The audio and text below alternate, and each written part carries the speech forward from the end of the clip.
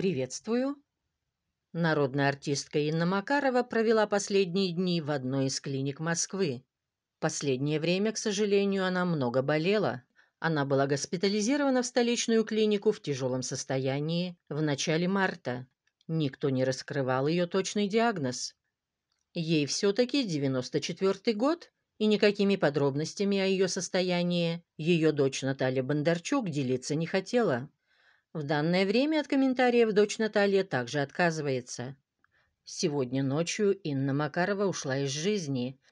Несколько недель она проходила лечение в одной из клиник Москвы, но болезнь, к сожалению, оказалась сильнее.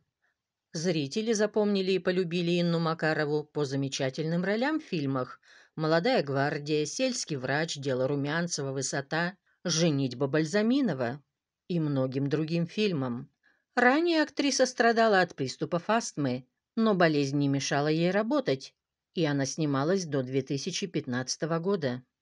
Первым мужем Инны Владимировны был Сергей Бондарчук. В этом браке у нее родилась дочь Наталья Бондарчук, которая работает актрисой и кинорежиссером. Во второй раз Инна Макарова вышла замуж за хирурга Михаила Перельмана. Она пережила супруга почти на 7 лет.